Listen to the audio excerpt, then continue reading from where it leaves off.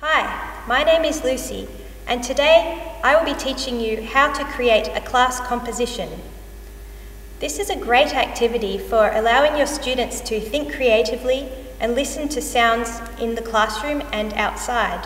You can spend 10 seconds just listening, so you might hear things like fans, people talking, cars.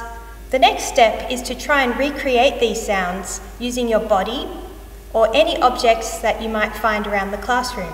You could create wind sounds by using your hands or your mouth. Shh. You could create rain sounds using your fingers and also thunder. The leader will direct students when to play, so it's a good idea to divide your class up into different sections. For example, one section can be the wind, another section can be the rain, and another section can be the thunder. You can use hand signals to direct, to direct the class composition.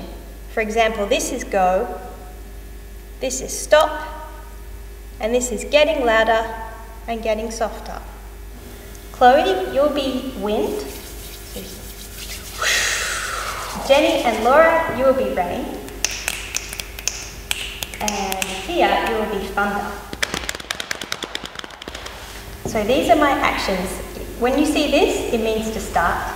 When this, it is stop, and this is getting louder and getting softer.